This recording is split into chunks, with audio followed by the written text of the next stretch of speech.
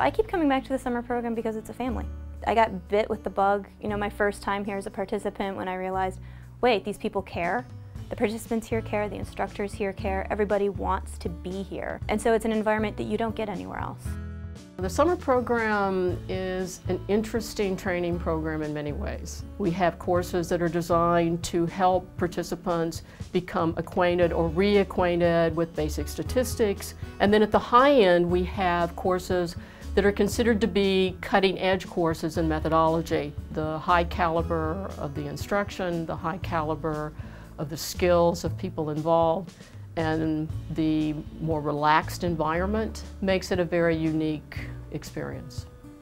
I think the instruction here in the summer program encourages you to, to continuously try, even if you don't get it right on the first time. And so I think that's very, very helpful and, and, and, and allows you to grow because you know you're not going to be judged by failing one assignment or, or, or making a mistake in one exercise. Uh, you continuously have the opportunity to try things out in the classroom, but also go to office hours and, and get that support you need to, to go over the hump on that next try. I think it's generally rare to find uh, teaching professionals that are great researchers and great teachers. ICPSR puts a lot of work into finding the right professors for the right course. So you wind up with professors who um, not only understand the material and actually love the material, love talking about it, love teaching it, um, but they've used it. They've used it in top tier journals. Uh, they're working on it right now. The methods are up to date, they're current, they're applied, um, and they're fun to learn. So the professors are really unique in that sense. I think the atmosphere at the summer program is really unique. You really have time to build a set of relationships with people that are a lot harder to build in shorter periods of time. The summer program is probably one of the best opportunities that one would have to network because it provides connections to instructors and it provides connections to participants many of whom, in both cases, you will encounter throughout your professional careers.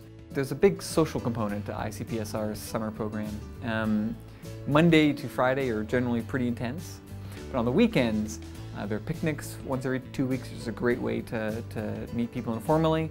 And Ann Arbor has a huge uh, social life downtown, so it's a great place to meet up with people from uh, venue to venue and um, wind up doing karaoke very embarrassingly at one in the morning.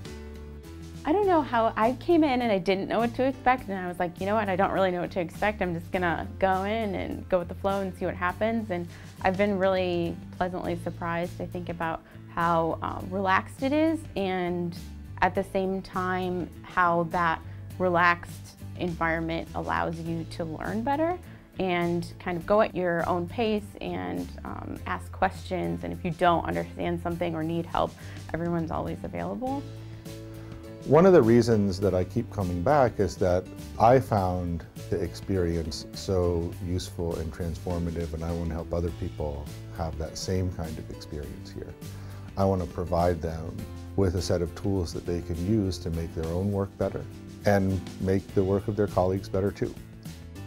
Don't necessarily worry about knowing everything before you get here or having a sound understanding.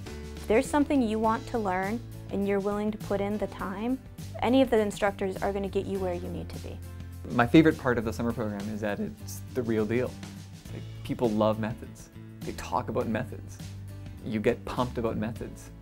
Um, there's almost nowhere else during, a, a, a, during graduate school you can get that kind of enthusiasm about the methods and techniques that'll help advance your career and help advance your own research agenda.